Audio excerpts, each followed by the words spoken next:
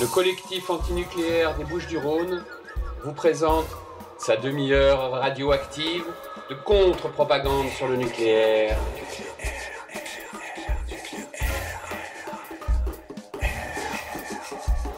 Vous êtes bien sur Radio Galère dans la demi-heure radioactive, émission animée par le collectif antinucléaire des Bouches-du-Rhône, les deuxième et quatrième mardis du mois en direct à 14h15. Nous considérons que nous sommes tous et toutes les cobayes de l'industrie nucléaire et que nous sommes tous et toutes les victimes potentielles d'une prochaine catastrophe. C'est pourquoi nous pensons que nous n'avons pas d'autre choix que de s'informer et d'agir, et c'est ce que nous nous efforçons de faire ici. Alors aujourd'hui, on va parler d'éoliennes et d'électricité nucléaire. Alors à première vue, ce sont deux sujets bien différents, mais on va voir en fait comment tout ça est, est lié. Alors quelques préalables euh, pour essayer d'introduire le sujet. On peut être euh, anti-éolienne pour euh, plein de raisons. Alors là, on va parler des, des, grosses éoliennes, hein, ce qu'on appelle les aérogénérateurs industriels. Celles qui font 150 mètres de haut, on n'est pas en train de parler de l'éolienne qui est au fond de votre jardin. donc on peut être anti-éolienne pour plein de raisons. Euh, parce que ça gâche la vue, parce que ça tue les petits oiseaux et les chauves-souris, parce que ça induit des nuisances euh, bah, pendant la construction, puis des nuisances sonores avec le bruit des, pales et des nuisances euh, visuelles. évidemment, ça gâche le paysage, tout ça est parfaitement légitime. Mais on peut aussi être anti-éolienne quand on est pro-nucléaire. Et là, ça se complique un petit peu. Euh, quand on est pro-nucléaire et obsédé par les émissions de gaz à effet de serre, parce qu'on veut nous faire croire, on veut faire croire que le nucléaire est la seule énergie soi-disant propre qui puisse assurer une production électrique adaptée à nos besoins, besoins justifiés ou créés de toutes pièces. Par contre, on peut aussi être pro-éolienne parce qu'on croit que la production électrique à venir doit être basée sur des énergies renouvelables. Hein, donc on peut être pro-éolienne parce qu'on est écolo. Euh, et que ces énergies renouvelables, euh, pas si renouvelables que ça, on va le voir, se substitueraient dans un monde merveilleux, meilleur et futur à l'énergie nucléaire, pourvu que dans les 30, 40 ou 50 ans, aucun réacteur ne nous explose à la figure. Et finalement, on peut être anti-éolienne industrielle et, anti-nucléaire, parce qu'on pense au final que la volonté de nos dirigeants, en France en tout cas c'était absolument clair, c'est d'avoir les deux, les énergies renouvelables, il faut arrêter de dire ça d'ailleurs parce qu'elles sont vraiment pas renouvelables, qui seraient peintes en vert et le nucléaire peint en plus blanc que blanc. Alors pour nous, tous les indices convergent et c'est ce qu'on va essayer de voir aujourd'hui pendant cette émission. On va essayer de débroussailler toute cette affaire. En fait, comment peut-on être anti-éolienne industrielle et anti-nucléaire? On va commencer par un exemple bien concret en Corrèze. Euh, avec notre invitée euh, Christine qui va nous expliquer ce qui se passe euh, à côté de chez elle, parce que c'est typiquement et, physiquement l'incarnation du, du, mélange, du mix énergétique qu'on nous promet. bonjour Christine. Bonjour. Merci d'être avec nous entre ces fêtes païennes. Ça va. Ou pas païenne. Euh, alors, bah, explique-nous ton, problème, votre problème euh, local, euh, alors en Corrèze, hein, dans une, petite, petite région qui s'appelle la Xintrie, qui relève à la fois des problèmes de radioactivité et d'éoliennes. Bah, oui, alors en fait, déjà l'année dernière, on avait fait une émission qui traitait un peu des, des anciennes mines d'uranium qui sont ici, en Corrèze, donc particulièrement en Xintrie, mais en fait, euh, euh, avec les projets éoliens industriels qui se présentent sur tout le département, euh, là, le plus avancé, ça serait sur le plateau des Mille Vaches, puisqu'il y a une enquête publique en ce moment qui concerne les communes de euh, Perret-Belair et d'Avignac, qui sont en limite du parc régional naturel des Mille Vaches, donc pas en Xintrie. Mais nous, il y a aussi des études de, de, parcs éoliens industriels sur la Xintrie et euh, dont certains qui sont aussi euh, situés sur euh, d'anciennes mines d'uranium, d'anciens déchets de mines d'uranium. Voilà. Donc en fait, comment c'est arrivé toute cette histoire? Eh ben, c'est que. Attends, là tu es en train de nous dire qu'ils vont implanter des éoliennes sur des anciennes mines d'uranium. Non sur, enfin, sur des sites pollués par les déchets des miniers. Parce qu'en fait, comme on avait dit euh, dans la précédente émission où on traitait des mines d'uranium, c'était qu'ils avaient un peu dispersé un peu partout des, des stériles miniers, ce qu'on appelle des stériles qui ne sont pas stériles, hein. enfin des déchets issus des, de l'exploitation des mines d'uranium, dans des chemins qui sont fréquentés euh, euh, par tout le monde. Quoi, voilà. Donc sur des, des GR, dans des, sur des routes, servir de remblai, etc y compris dans des cours de, de propriété privée. Voilà. Donc en fait, il y en a un petit peu partout. Et là, euh, sur le projet euh, donc euh, de d'Avignac Perret Belair, donc sur les mille vaches. c'est donc la société Valeco qui veut implanter quatre éoliennes de 200 mètres de haut enfin 180 et quelques. Enfin, oui, c'est déjà, oui, c'est déjà pas mal. C'est abominable. Oui, et donc, euh, donc en fait, qu'on a su ça, parce que donc il y a eu une enquête publique qui a été publiée sur le site de la préfecture, et donc on s'est dit bon, on va voir un peu. Moi, je me je connaissais ces noms de parce que je connaissais un peu les dossiers euh, à Reva, et bingo, on, s'est rendu compte que les quatre éoliennes sont implantées sur un chemin qui est pollué, quoi. Voilà, qui serait implanté sur un chemin pollué. Pollué par par de la radioactivité. Voilà, par des déchets issus des, des mines, parce que sur euh, la, commune de, Davignac qui a eu une exploitation de trois sites miniers uranifères dont on a extrait quand même euh, euh, respectivement 2,7 euh, tonnes, 87,6 tonnes et 23,8 tonnes sur les, trois sites concernés de la commune de Davignac d'uranium. Hein, tout ça, ça a été extrait. Et donc voilà, donc on en est là. et en fait, qu'on s'est dit comment ça se fait finalement qu'on peut on peut continuer à implanter gentiment des éoliennes sur les sites pollués, et eh ben c'est parce que euh, il faut faire croire que c'est pas dangereux. Voilà. Alors on va, on va alors, euh, les stériles, les stériles euh, de, des mines d'uranium, en quoi, en quoi c'est hum, en quoi c'est dangereux en fait en soi et puis en quoi c'est dangereux de mettre des éoliennes dessus quoi. Enfin parce qu'à la limite on pourrait se dire bon bah on cumule les dégâts quoi. On les met tous dans le même endroit et puis après euh, en fait, euh, en fait, euh, en fait, c'est l'inverse qui se passe. C'est-à-dire que non seulement on, cumule pas dans le, même endroit, c'est qu'on disperse tout surtout. Parce que euh, ce qu'il faut voir, c'est que ces stériles miniers, ils ont donc été extraits des, des, sites miniers qui eux sont inondés au jour d'aujourd'hui, donc ils sont pas exploitables d'aucune façon, et donc ont été donc dispersés tout autour d'une commune, quoi. Enfin là où ils pouvaient. Et en fait, c'est un petit peu l'amnésie général qui fait qu'on dit oh ben on essaye de faire oublier quoi et on se dit bah si on mettait quatre éoliennes dans cet endroit-là ça serait peut-être pas mal parce que finalement comme personne ne pourrait jamais y aller d'autres et eh ben voilà au moins on va mettre ça puis ça va rapporter des sous voilà.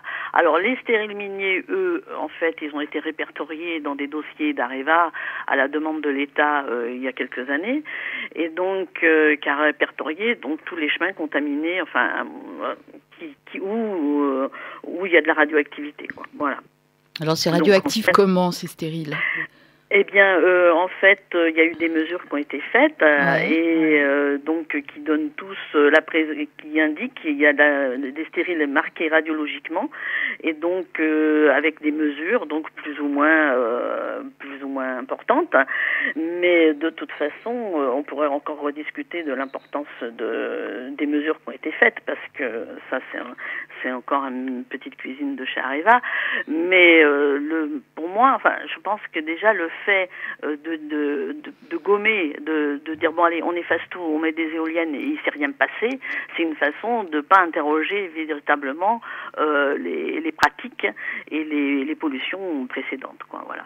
Et donc en fait si on rentre dans un détail de mesure, bah, on pourra toujours après euh, avérer le fait que effectivement il y a des stériles miniers qui devraient pas être à cet endroit-là et qui s'y trouvent. Voilà. Et oui, c'est ça. C'est-à-dire qu'en fait, c'est-à-dire éviter.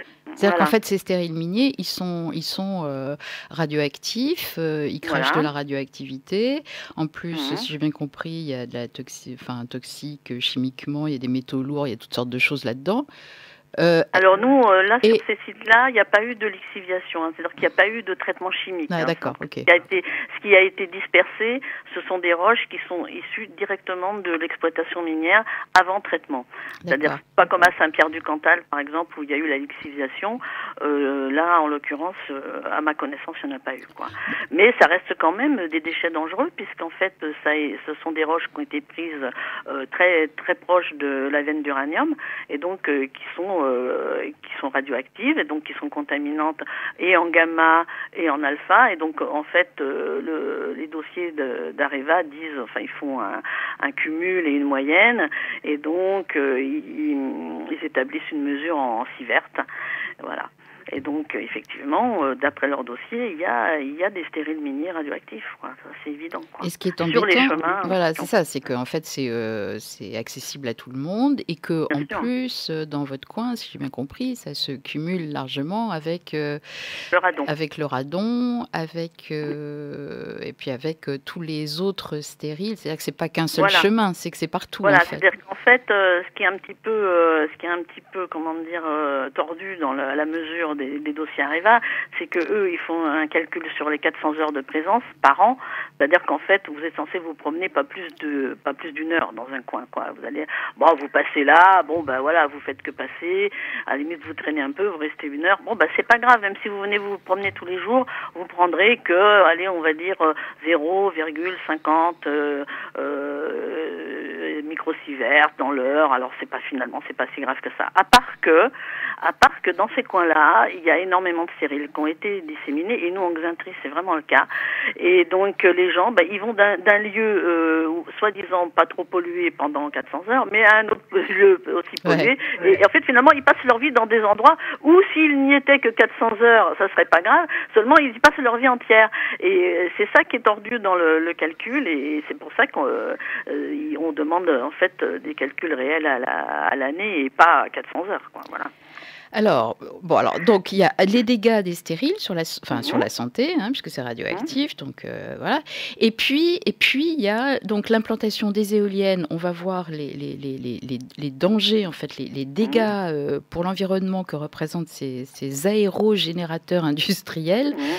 Euh, mais alors, l'implantation, tu, tu, parlais de dissémination de la radioactivité, comment ça... Bah, en fait, disons que quand ils vont venir implanter des éoliennes, il faut faire des des, il faut forer pour faire des socles, quoi, déjà. Donc, en Et c'est pas des petits socles ah non, c'est entre 1500 et 2000 tonnes de béton et de ferraille, hein, parce que c'est quand même des gros engins qu'on implante. Après, il y a les tranchées de raccordement. Donc en fait, tout ça, ça fait des allées et venues dans des endroits où il y a des pistes qui ont été euh, donc contaminées et qui sont contaminantes par des roches issues des, des l'exploitation minière d'uranium. Et donc, euh, mais ça, les gens ne le savent pas. Les, les, gens, enfin, et je pense que Valéco même, euh, je pense que les, les communes ont, ont, volontairement pas évoqué le problème, quoi. Parce que je vois pas en quoi Valéco euh, pourrait prendre le risque, disons, de faire euh, de faire travailler euh, ces entrepreneurs dans, dans des sites pollués ou polluants, quoi. Voilà. Donc, je pense que la, la première faute déjà, ce sont les communes et les communautés de communes qui ont vu, conférer la bonne affaire en disant, ben, on va mettre quatre éoliennes, ça va nous rapporter des sous et puis en disant ben comme ça euh, ben on, on, on, fera plus ou moins euh, contre mauvaise fortune bon cœur. C'est-à-dire qu'en sachant que cet endroit on pourra rien faire d'autre et ben comme il y a des il y a la possibilité de mettre ces engins et que ça nous rapporte des sous et ben on va faire mettre quatre éoliennes dans ce dans ce chemin voilà et donc c'est un chemin qui est situé entre les deux communes de Pérébelair et d'Avignac et qui est répertorié effectivement dans les fiches Areva voilà. Donc, pour nous, euh, c'est ça. C'est en fait c'est le traitement euh, de, de, disons de, des travaux qui vont qui vont être nécessaires à l'implantation des, des éoliennes, qui vont créer, euh, à mon avis, déjà un problème sanitaire qui va perdurer puisqu'on traitera pas les, les comme ils doivent l'être, c'est-à-dire comme des déchets radioactifs, mais que en plus on va y faire travailler des gens qui vont venir faire bah, des tranchées de raccordement euh, euh, des, couler des socles, etc. Quoi. Mm. Et après, ça, ça va permettre de disséminer en fait toutes ces roches autour, parce qu'il y avoir un brassage euh, de, de, des terres et des roches qui est de, au sol et de, de, se dire bon bah dispersion générale, on va délayer tout ça et puis on est hop, on y avec du feu et passons au suivant quoi. Voilà. Alors ça, ça, semble, ça ressemble étrangement à une politique un peu globale là voulue par Areva, sauf que j'ai vu que Areva depuis avait avait largué son son côté énergie renouvelable parce qu'ils avaient besoin de trésorerie et tout. Mais euh, dans, dans, dans, les années 2011, 2013, 2012, là, il y, a, des tas d'implantations par Areva sur des anciennes mines euh, d'uranium, euh, de, en particulier de, de centrales solaires. Et donc c'est un peu la même, voilà, la même, la même, logique. Oui. Donc c'est de se refaire, euh, se redorer le blason un petit peu, euh, puisqu'en fait on voit par exemple que Areva voulait mettre euh, une centrale photovoltaïque euh, sur l'ancien site de Belzane à Bessines-sur-Gartempe, hein, donc qui est extrêmement pollué, puisque là il y a eu effectivement de l'exciviation et, et, donc de traitement chimique de l'uranium. Et donc en fait c'était en 2009 et après je sais pas si ce projet a capoté ou pas, mais enfin en fait ce qu'il faut quand même se dire, euh, c'est qu'il y a eu un décret euh, donc par rapport au traitement euh, des déchets d'uranium, il n'y a pas un décret, une circulaire, la circulaire du 22 juillet 2009 relative à la gestion des anciennes mines d'uranium qui dit entre autres euh, qu'on ne peut pas changer la nature d'un site pollué. Et en faisant effectivement un parc éolien, on en change la nature fondamentalement. En fait, euh, cette circulaire dit nous considérons qu'il est en revanche dorénavant nécessaire d'interdire tout nouveau projet de valorisation de stériles issus d'anciennes mines d'uranium, d'instaurer des servitudes où les terrains se situent des dépôts significatifs, etc. C'est-à-dire que, en fait, euh, c'est sous couvert d'amnésie générale euh, changer la nature effectivement de, de, ces sites qui sont pollués. Alors, en ce moment, les autorités tergiversent, essayent de trouver des solutions. Il demande à Areva de trouver des solutions, bien sûr. C'est comme si vous demandiez à un criminel de, de dire bah, qu'est-ce que tu veux Tu trouves ta solution pour te juger toi-même et tout ira bien. Pour moi, c'est ça. C'est-à-dire, on, demande aux fautifs de, non pas de réparer leurs fautes, hein, de juger simplement s'ils sont coupables. Alors, bien sûr, ils sont jamais coupables. Voilà. Et donc, euh, on en arrive à ce genre d'aberration. C'est-à-dire que personne n'est responsable de rien. Et donc, effectivement, c'est la faute à personne. Donc, le dernier arrivé qui vient avec un super projet qui présente bien, bah, lui, il va pouvoir effectivement patauger euh, tranquillement dans les stériles miniers sans, sans, sans autre forme de, précaution. Et puis, en plus, euh, faire pérenniser euh, l'amnésie générale. Quoi. Voilà, c'est le déni, de la, de, le déni du danger. Alors, je voulais, je voulais, je voulais qu'on revienne un peu, parce que là, on est donc dans le cumul des dégâts. Donc, les stériles, on a compris. Maintenant, euh, les éoliennes, alors je voudrais euh, vous lire un petit passage là sur les dégâts, euh, parce que c'est pas c'est pas vert hein, une éolienne industrielle. Hein. Ouh là là que non, c'est pas vert. c'est un c'est un texte qui s'appelle Plaidoyer contre les éoliennes industrielles, qui est excellent, qui regroupe tout. Je vous le conseille. C'est sur le site 12.noblog par des, des, des, collectifs qui luttent contre l'implantation d'éoliennes industrielles en Aveyron. Alors je vous je vous lis un petit passage. Chaque éolienne, donc on est en train de parler des éoliennes, de, des grosses là, 200 hein, mètres de haut, contient 600 kilos de terres rares, essentiellement du néodyme. Je ne sais pas très bien ce que c'est que le néodyme, mais ça a l'air sympa. L'exploitation et le raffinage de ce métal, ah ça y est, se fait principalement dans la ville de Baotou en Mongolie intérieure, surnommée la ville du cancer. Les rejets chimiques de cette industrie ont pollué toute la région. L'espérance de vie est désormais de 40 ans et la radioactivité est deux fois supérieure à celle mesurée à Tchernobyl. Donc il y a bien de la radioactivité pour extraire euh, les terres rares qui vont servir à construire des éoliennes. Chaque éolienne contient également plus de 4 tonnes de cuivre extrait dans les gisements d'Amérique du Sud, où des villages entiers sont expropriés par les forces armées pour permettre aux firmes occidentales d'exploiter la richesse du sous-sol et la vie des ouvriers. Pour verdir ici, on noircit là-bas. Voilà, je crois que là, on a on a compris? Bah, euh, Oui, bah, chez nous, ce qui est un peu le, la boucle est bouclée, on va dire. Parce que euh, moi, ça, enfin, en tant qu'anti-éolienne, ça me fait rigoler quand on dit euh, vous êtes des NIMBY. Mais nous, on n'est pas des NIMBY parce que les NIMBY, il faut que tu expliques. Voilà. NIMBY, il faut que tu expliques. Not in my backyard, c'est-à-dire en fait pas dans mon jardin. Hein, comme on dit, ah, les, les anti-éoliens, ils, ils, ils, veulent bien qu'il y en ait chez les autres, mais ils en veulent pas chez eux. Ce à quoi je réponds, attendez, nous, des pollutions dans notre jardin, on en a déjà, parce qu'on a déjà des, des déchets miniers. Alors là, en général, on, arrête on arrête la discussion tout de suite, quoi. C'est-à-dire que ils se rendent pas compte que c'est un cumul des nuisances qui va arriver, quoi, et que c'est c'est vraiment basé sur l'oubli, euh, l'amnésie, le déni, et c'est ça qui fait venir en fait des nouveaux entrepreneurs euh, pollueurs et qui, s'appuient là-dessus pour venir euh, solutionner hein, les problèmes qu'ils ont créés eux-mêmes, soi-disant. Mais il faut pas trop en parler quand même. Donc on va faire quelque chose de très présentable. On va dire, bah tenez, puisque vous avez des petites communes, puisque vous avez une baisse, une baisse des dotations, puisque vous avez moins d'argent maintenant, vous avez qu'à vendre un peu de laisser implanter un peu des, des éoliennes chez vous et puis tout ira bien. Et en fait, c'est exactement la même logique, c'est exactement les mêmes arguments qui ont été utilisés pour faire euh, forer des mines d'uranium, quoi. Voilà. Et donc, en fait, ça se répète. Voilà, ça s'ajoute et les nuisances, ben, s'ajoutent aussi quoi. Et de la même façon, ils nient, euh, ils ont nié euh, les nuisances euh, de la radioactivité, ils le nient encore. les entrepreneurs éoliens, ils nuisent effectivement aussi le fait que ils nient le fait que il y a y a des il y a des infrasons, voilà. Alors bon, c'est pas la même gravité hein, sur la durée. Effectivement, une éolienne, si elle vous emmerde, hein, grosso modo, vous l'arrêtez, vous la démontez et tout le monde sera très content à part qu'il faudra aussi enlever le, les 2000 tonnes de béton qui sont dans le sol. Mais bon, ça, visiblement, personne n'a l'air de s'en préoccuper.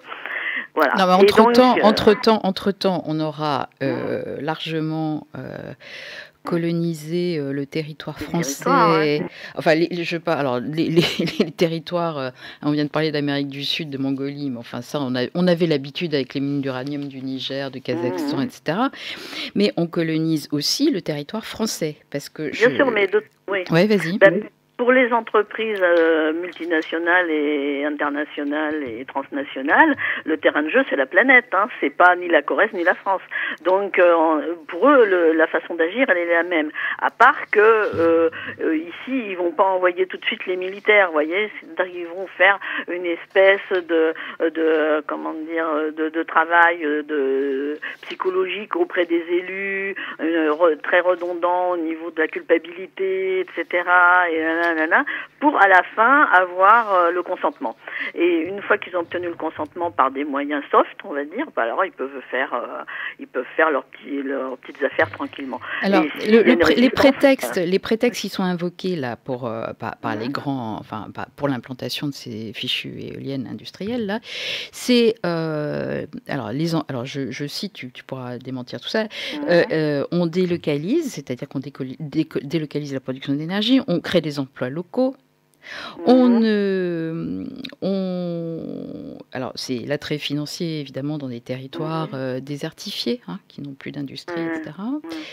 Euh, c'est euh, bah c'est c'est à peu, à peu près ça en fait hein, qui c'est-à-dire c'est pas grand chose hein, en fait pas grand chose pas grand chose En fait, euh, bon, ce qu'ils veulent, euh, c'est être présents dans les territoires pour que ça leur rapporte, tant que ça leur rapporte, disons, parce que c'est ça. Et puis après, bon, si ça les intéresse plus financièrement, bah, ils laisseront une friche. Hein parce que de toute façon, euh, ils se gossent de ne pas être comme le nucléaire prétendument, c'est-à-dire de prévoir euh, disons une, somme d'argent qui est bloquée pour le démantèlement, qui à l'heure actuelle, euh, je crois que c'est 50 000 euros pour une éolienne, un truc comme ça, mais le démantèlement d'une éolienne de, de, 200 mètres de haut, ça coûte pas 50 000 euros. Hein. et surtout dans 10 ans, qui peut le dire, ou dans 15 ans, voilà, parce que c'est des engins qui ont une durée de vie de, disons, entre 15 et 20 ans, et ah, quand tout. ça va, oui, quand ça va coûter cher à entretenir, ben, ben les, les, boîtes elles vont fermer et puis vous laisseront les friches, quoi. Voilà. Donc, mais euh, derrière tout ça, il y a aussi une logique perpétuelle, c'est, disons, de, de tout saloper, hein, pour parler familièrement.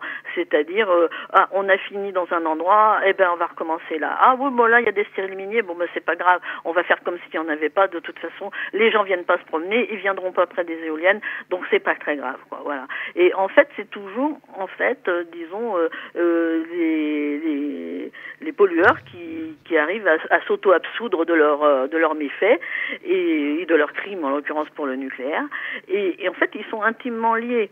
C'est-à-dire, c'est la même logique et c'est surtout les mêmes c'est les mêmes. Parce que, bon, par exemple, nous, sur euh, on a un projet avec Eolfi.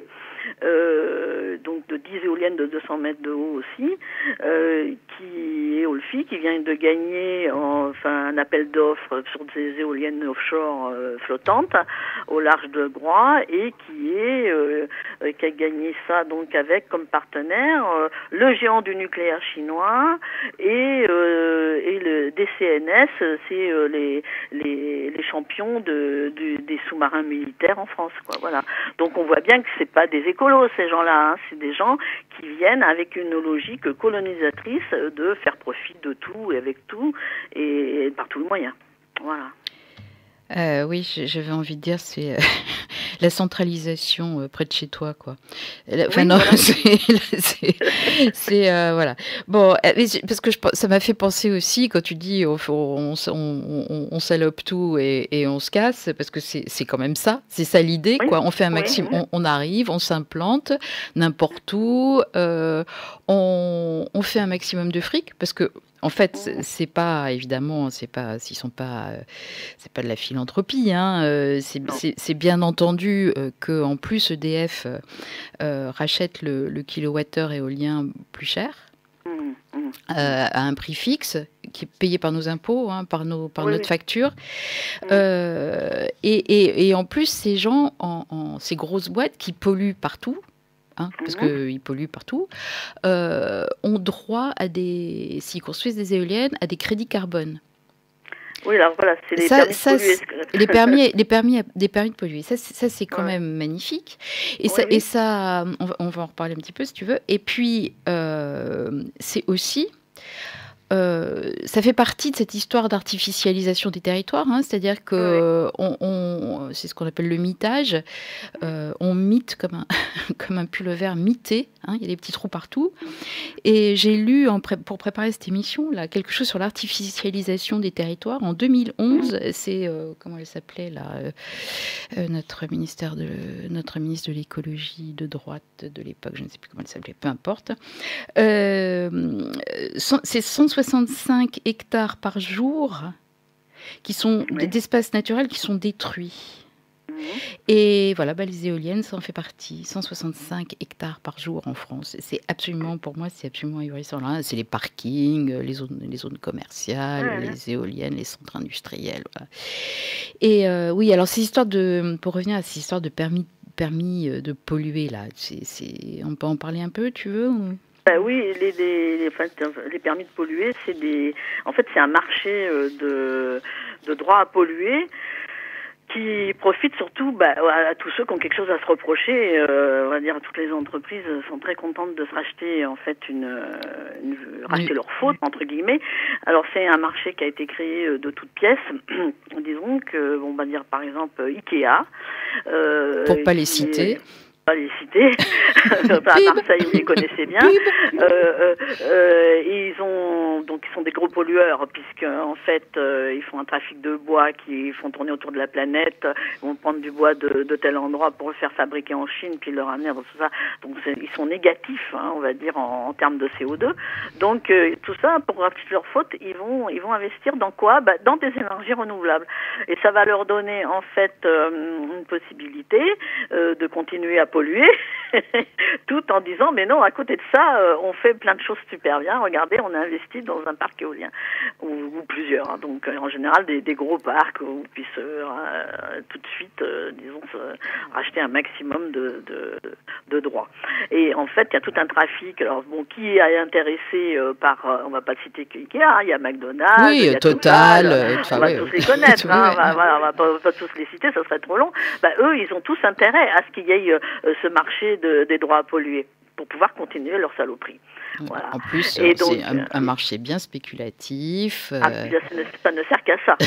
bien spéculatif, qui ne sert qu'à ça, effectivement. Parce que personne dépollue pendant ce temps-là. Il hein. faut bien se dire, euh, faut bien se dire que personne dépollue, puisque même quand vous fabriquez une éolienne, comme tu disais, il y a 600 kilos de néodyme pour les aimants, hein, parce que bon, dans le, dans le, la nacelle, donc il y a des turbines et qui, qui contiennent des aimants, des, des très gros aimants, et donc c'est eux qui ont besoin de 600 kilos de néodyme à chaque fois. Donc, mais on, on s'imagine pas les, les, quantités de, de matériaux hyper pourris qu'il y a besoin pour faire ces énergies renouvelables, quoi. Oui, c'est pour ça que c'est pour ça qu'elles sont pas, oui, oui, propres et renouvelables et vertes et tout le bazar. Bon, on va arriver au, au, au cœur là de notre notre histoire.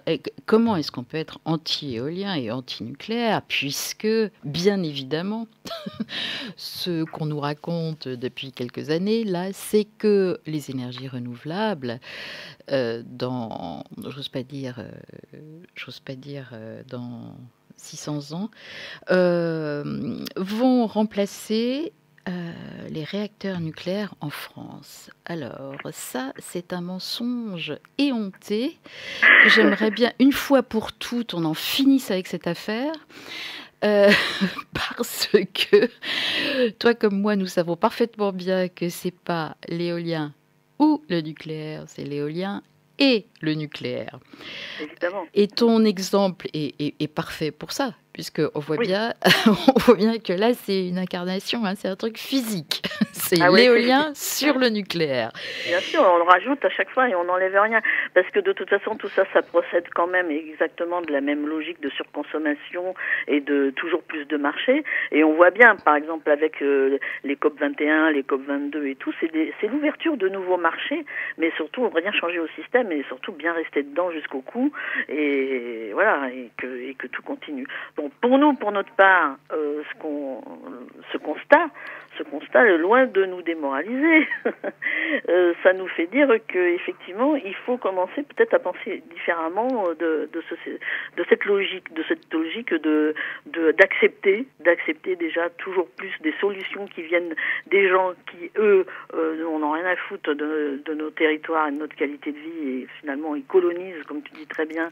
Et je ferai un petit aparté quand même là-dessus euh, sur la colonisation des territoires euh, avec ces nouveaux marchés ce mitage, ce mitage, il, procède d'une expérience qui est exactement la même que tous les, les territoires colonisés subissent.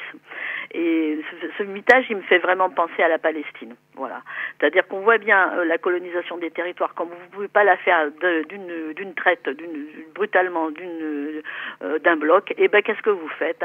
Vous faites des petits territoires colonisés, vous faites des petites colonies, vous faites des petits mitages, et puis après, ben, petit à petit, euh, l'urbanisation, le tout ça, ça fait que ben, ben, ça fait partie de la ville, et puis ça fait partie d'une dégradation générale, et que effectivement, eh ben à ce moment-là, on peut plus rien faire, voilà.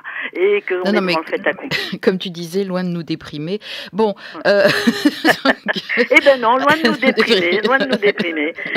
Oui. Mais alors, ce que je voudrais, euh, parce que le, petit calcul là, déjà, euh, enfin, on, c'est un mensonge l'histoire des éoliennes et des énergies renouvelables qui va remplacer le nucléaire, parce que euh, c'est déjà une impossibilité technique. Enfin, tout bêtement, c'est une impossibilité ah technique. L'éolien fonctionne par intermittence. Hein. Il y a du vent, il n'y a pas de vent, machin, etc. Et on a besoin évidemment pour couvrir euh, nos besoins, euh, nos besoins supposés là, euh, on, a, on, a besoin d'une production de base, hein, d'électricité de base qui, qui, marche tout le temps. Quoi. Et ça, avant, c'était fourni par le charbon, le charbon, le gaz, le pétrole et tout ça. Mais maintenant, avec cette histoire d'émissions de gaz à effet de serre, mon Dieu, mon Dieu, mon Dieu, les océans vont, vont, déborder, vont déborder dans on ne sait pas combien de temps, mais voilà. Euh, on a fermé toutes, on est en train de fermer toutes les centrales à charbon, à gaz, à pétrole tout le pétrole, enfin voilà, et on le fuel et on pas et on, et on va compter en énergie, en, production d'électricité de base sur le nucléaire. En mhm. France, en tout cas, ça c'est absolument clair. C'est une politique euh, claire depuis des années. Et alors, il y, a un petit calcul qui est rigolo, euh, qui est dans un bouquin que je, que je vous conseille tous, Le sens du vent, mais je vous en reparlerai tout à l'heure. Euh, voilà, combien faudrait-il, bon, c'est calcul un peu stupide, mais combien faudrait-il d'éoliennes dans l'absolu pour remplacer la totalité de la production électronucléaire en France? Alors, on nous explique. En prenant pour base une puissance unitaire de 2 MW, on aboutit à plus de 100 000 éoliennes terrestres contre 2000 2500 installés aujourd'hui. 2500, c'est déjà pas mal. Sachant que le territoire métropolitain couvre une superficie de 550 000 km, desquels il faudrait retirer la surface occupée par les villes, incompatible avec l'installation d'éoliennes, cela reviendrait à élever une éolienne tous les 5 km. C'est absurde, oui, c'est absurde. Voilà. Donc, donc on, sait parfaitement bien qu'on aura de toute façon besoin de production d'électricité de base. Bah, disons que, alors, j'ai un petit, petit, bémol quand même, parce que le livre a été écrit à l'époque où il y avait 2500 éoliennes. Aujourd'hui, on en a quand même 8000 en France. D'accord. Voilà. Donc euh, on voit bien qu'on atteint quand même, est-ce qu'ils font un forcing euh, Il y a des endroits qui sont complètement ravagés. Hein. Vous allez sur les territoires de, du, du, nord de la France, là, ou de centre en Beauce, etc. là, pour le coup, vous avez une éolienne tous les 5 km. Hein, je veux dire, oui, mais tu, vois ce que je veux dire, c'est que même à 8000... Ça n'a rien changé. Ça n'a rien changé, parce que de toute façon, il y a, y a, quand même une intermittence du vent qui fait que, euh, en fait, ils, ils, ont, ils essaient, ils essaient en ce moment, là je vais vous parler encore d'un d'une autre idée fabuleuse qu'ils ont, c'est-à-dire de stocker l'énergie. Et donc encore nous, en Corrèze, on est encore en tête de pont avec cette histoire parce qu'ils veulent nous faire euh, faire des, des, stations de transfert par pompage sur nos barrages, sur les sur les la Dordogne entre autres. Et donc et ça, ça servirait à stocker les, vous voyez, à, stocker l'énergie euh, qui est produite euh, par les l'électricité. L'électricité et on, ça servirait à pomper l'eau euh, c'est les shadows, c'est-à-dire ça servirait à pomper l'eau. De, quand on peut pas vendre l'électricité des barrages, au moins on, en, on stockerait de l'eau pour pouvoir en avoir plus au moment où il faudrait faire plus d'électricité. Voilà. C'est-à-dire qu'en fait, déjà, ça, n'arrête jamais. C'est-à-dire qu'en fait, c'est le serpent qui se prend la queue et il y a toujours un moment où, comme il faut toujours plus d'électricité, eh ben vous inventez des éoliennes, mais oh merde, pas de bol, il n'y a pas de vent tout le temps. Ah ben qu'est-ce qu'on va faire? Eh ben on va les faire tourner quand même quand on n'en a pas besoin pour les stocker dans des, des stations de par pompage, donc dans des steppes, pour pouvoir après toujours avoir plus d'électricité et ainsi de suite. Quoi. Et quand ça sera pas ça, ça sera autre chose. Voilà. Et c'est pas s'ils pouvaient nous inventer le soleil la nuit euh, pour euh, mettre du photovoltaïque, ils le feraient. Hein. Et ils vont y arriver. Hein. On voit pas au stade où ils en sont. Il n'y a plus rien qui. Donc, on, voit bien que de toute façon, euh, c'est physiquement euh, impossible de, de, de, de remplacer euh, mm. l'électricité de base par des, du solaire. Ou voilà. Bon, donc, ça, donc, on aura un mix énergétique et on aura un mix énergétique avec la même quantité de nucléaire en France. Il n'y a ah, aucun changement en vue. et, et ils vont arriver à faire ça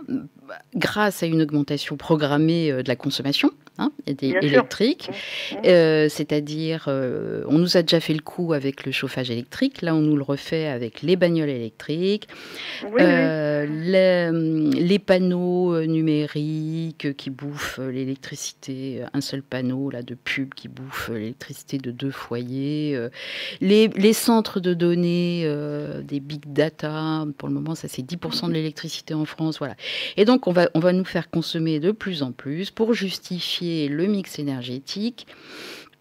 Euh, voilà, et, c'est pour ça qu'on peut être à la fois anti-éolien et anti et. Anti eh oui. C'est à cause de ça. C'est à, cause de ça. Et c'est à cause de ça que qu'on n'arrêtera pas de, de, lutter contre ces, ces, ces dégradations perpétuelles. Quoi. Et Non, il y a, il y a quand même, euh, il y a quand même une forme de, enfin pour moi, euh, pollution euh, qui est mentale, c'est-à-dire celle qui, tient de l'amnésie et du déni perpétuel de, des réalités pour se jeter dans du virtuel ou je ne sais trop quoi, et en pensant que en laissant en laissant les décideurs actuels trouver des solutions aux problèmes qui n'en trouvent jamais d'ailleurs parce que ils sont bien emmerdés. Oui, fuite en avant, fuite en avant, oui, avant euh, qu'on on va arriver à quelque chose. Et moi, je pense qu'il faudrait peut-être un peu commencer à se poser des questions pour que tout ça, ça cesse. Voilà. Bien, je vais juste terminer. Je te remercie. Je suis d'accord avec toi. Il faut que ça cesse. Bon, donc euh, c'est extrait bah, de, aussi du, sens du vent là, le, livre. C'est euh, ce que disait. C'est spécial dédicace à nos amis, euh, à nos amis les Verts. Que Sarkozy, euh, ça c'était en, en, 2009, le, dans un article qui s'appelait Monsieur Sarkozy veut investir un euro dans le renouvelable pour un euro dans le nucléaire. Ben euh, donc il a, il a annoncé deux mesures susceptibles, je, le cite, de préserver un consensus sur le nucléaire et arriver à le faire tolérer par ceux qui y sont opposés.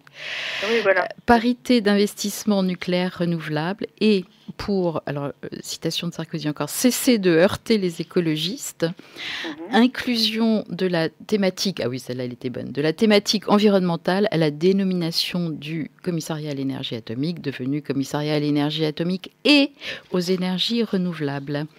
Et donc, cette histoire de 1 euro pour le renouvelable, 1 euro dans le nucléaire, ça m'a fait penser je vais finir de me fâcher avec tous les, les verts euh, du coin, à, à, la politique régionale qui disait, euh, quand il, il s'est agi d'implanter euh, ITER et de faire accepter localement, les Verts n'avaient rien trouvé de mieux que de parler d'un euro pour ITER, un euro pour le renouvelable. Ben, en fait, ils sont d'accord avec M. Sarkozy, tout va bien.